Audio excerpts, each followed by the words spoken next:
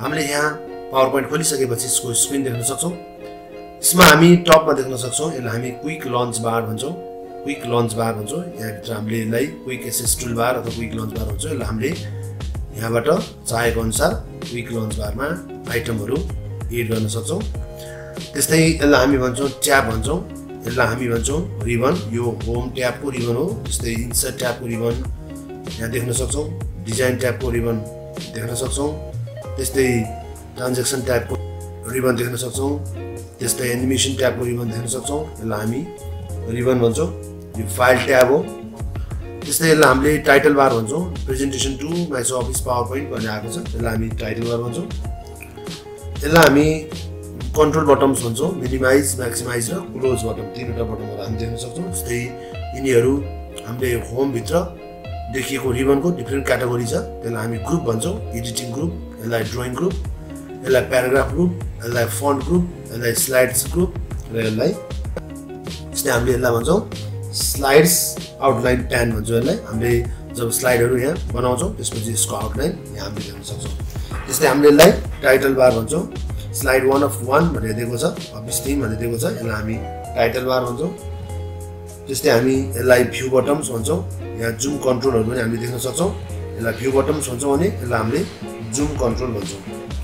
र यसपछि यसलाई चाहिँ हामीले स्लाइड प्यान भन्छौँ। स्लाइड प्यानबाट पनि हामीले हाम्रो यसलाई चाहिँ हामी पावर पोइन्टको वर्किङ भन्छौँ। Now let me talk about the theme अब हामी थिम कसरी एप्लाई गर्ने भन्ने विषयमा डिस्कस गर्दैछौँ। फर्स्ट अफ अल मैले यहाँ केही स्लाइडहरू बनाएको छु। तपाईँले देख्न सक्नुहुन्छ। यो स्लाइडमा थिमहरू एप्लाई गर्नको लागि यदि म पहिला होम ट्याबमा छु भने अब म डिजाइन ट्याबमा क्लिक गर्न सक्छु। त्यसपछि यहाँ थिम्स भन्ने ग्रुप छ। यो ग्रुपभित्र आफूलाई चाहिने सुइटेबल थिमको स्टाइल यहाँबाट सेलेक्ट गर्न सक्छु। अथवा यहाँ मोर भन्ने बटन हुन्छ। मोर भन्ने बटनबाट अन्य कुनै थिमहरू सेलेक्ट गर्न सक्छु। जब मैले थिमहरू चेन्ज गरेको छु यसमा भएको टेक्स्टको इफेक्टहरू पनि चेन्ज भइरहेको छ। यसरी हामीले थिमहरू इन्सर्ट गर्न सक्छौँ। थिमहरू अप्लाई गर्न सक्छौँ। हामीलाई चाहिने कुनै पनि थिमहरू यहाँ हामीले अप्लाई भएको देख्न सक्छौँ।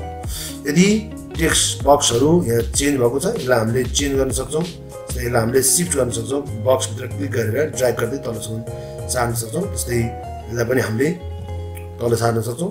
यसरी थिमको डिजाइनहरू चेन्ज गर्न सक्छौँ अथवा थिमको साइजहरू टेक्स्ट साइजहरू चेन्ज गर्न सक्छौँ। त्यसलाई हामीले त्यसलाई सेलेक्ट गर्छौँ।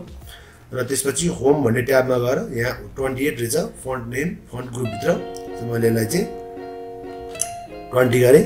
अब यसको साइज चेन्ज भएको छ। फन्टको साइज चेन्ज भएको छ। त्यस्तै यो टाइटललाई पनि अब फेरि मैले यसलाई एरेन्ज गर्न सक्छु।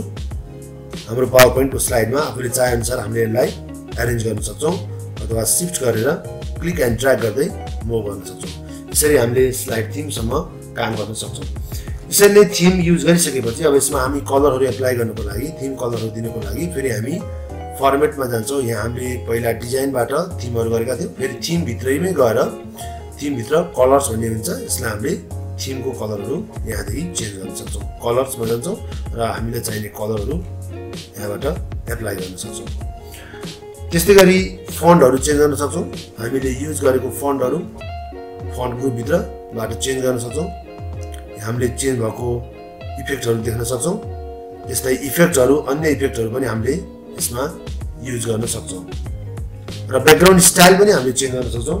ब्याकग्राउन्ड स्टाइलहरू चेन्ज गर्नको लागि फेरि हामी डिजाइन ट्याबभित्र थिम भन्ने ग्रुपमा ब्याकग्राउन्ड ग्रुप भन्ने हुन्छ ब्याकग्राउन्ड स्टाइल भन्ने ग्रुप छ। ब्याकग्राउन्ड स्टाइलभित्र अब हामीले हामीलाई सुइटेबल हुने खालको ब्याकग्राउन्डहरू यहाँबाट चेन्ज गर्न सक्छौँ। यसरी चेन्ज गर्न सक्छौँ र यदि हामीले ब्याकग्राउन्डमा स्टाइलहरू युज गरिसकेपछि र यसको मोर स्टाइलभित्र गएर हामीले ब्याकग्राउन्ड फर्मेट ब्याकग्राउन्ड भन्ने अप्सनमा गएर ब्याकग्राउन्डहरूलाई फर्मेट गर्न सक्छौँ। यसको पिक्चर कलरहरू चेन्ज गर्न सक्छौँ। त्यस्तै डिफ्रेन्ट फिलहरू गर्न सक्छौँ। यसलाई ग्रेडियन्ट फिल भने मैले यहाँ तल हामी ब्याकग्राउन्डमा बिस्तारै चेन्ज भएको हामी देख्न सक्छौँ। जस्तै प्याटर्न फिल भएको छ यो अहिले। हाम्रो स्लाइडमा प्याटर्न फिल गरेको छ। जस्तै हामीले ब्याकग्राउन्डको हाइट गर्ने हो भने त्यसलाई हामीले हाइट हाइट ब्याकग्राउन्ड पनि गर्न सक्छौँ। अनि यसको ब्याकग्राउन्ड एप्लाई गर्दा यसको पनि फोरग्राउन्ड कलर र ब्याकग्राउन्ड कलर पनि चेन्ज गर्न सक्छौँ। यसरी हामीले ब्याकग्राउन्डसँग रिलेटेड एक्टिभिटीहरू थिमसँग रिलेटेड एक्टिभिटीहरू पावर पोइन्टमा गर्न सक्छौँ।